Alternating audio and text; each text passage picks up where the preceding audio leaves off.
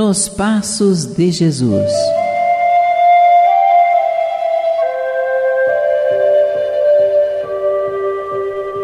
A mensagem que levamos ao seu coração hoje está registrada na carta de Paulo aos Gálatas, capítulo 5, versículo 13, e tem o seguinte texto: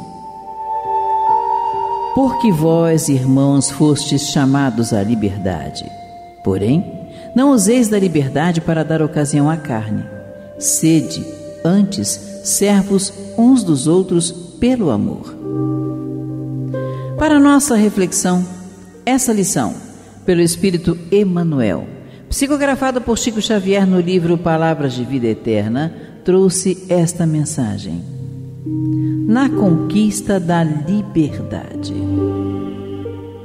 A mente humana, antes do contato com o Cristo, o Divino Libertador, padecia milenárias algemas de servidão.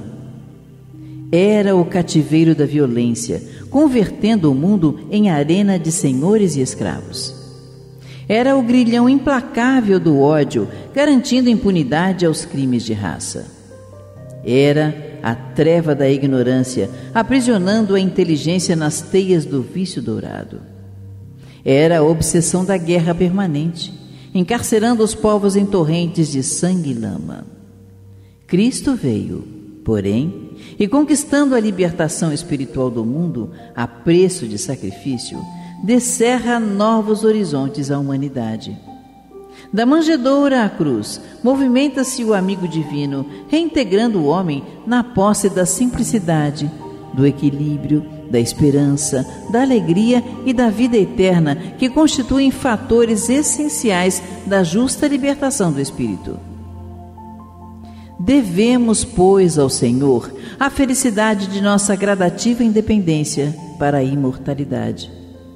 Entretanto, para atingir a glória divina a que estamos destinados, é preciso saibamos renunciar conscientemente à nossa própria emancipação, sustentando-nos no serviço espontâneo em favor dos outros, porquanto, somente através da nossa voluntária rendição ao dever, por amor aos nossos próprios deveres, é que realmente alcançaremos a auréola da liberdade vitoriosa. Se você gostou desta mensagem e ela de alguma forma tocou o seu coração, você poderá ouvi-la novamente visitando o site www.radioriodejaneiro.am.br e nossas redes sociais. Lá você vai encontrar outros áudios e vídeos que vão ajudar no seu crescimento espiritual convidamos você a participar da missão de divulgação da doutrina espírita. Filie-se ao Clube da Fraternidade. Rádio Rio de Janeiro, 1400 AM, construindo um mundo melhor.